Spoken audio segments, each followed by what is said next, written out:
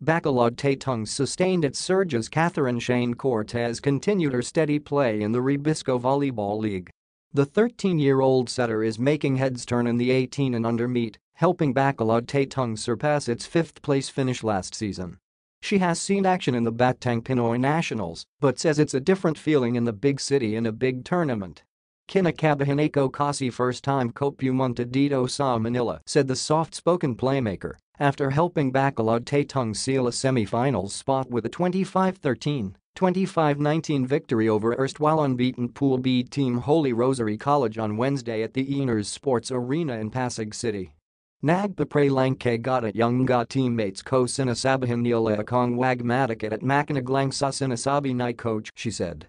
Bacolod Tay Tung dispatched New Zealand's Z-Air Maori 25-20, 23-25, 25-23 on Thursday to complete a five-game sweep of Pool B. They face either Aloha Region Juniors team or Kings Montessori, who will clash for the top seed in their group. Whoever they face in the knockout semi-finals on Friday, Cortez will play with confidence. Maganda no young Nalalro NG teammates ko, she said. First time Kopiro Gusto ko maging champion kami at Gusto naman bumawi, she said.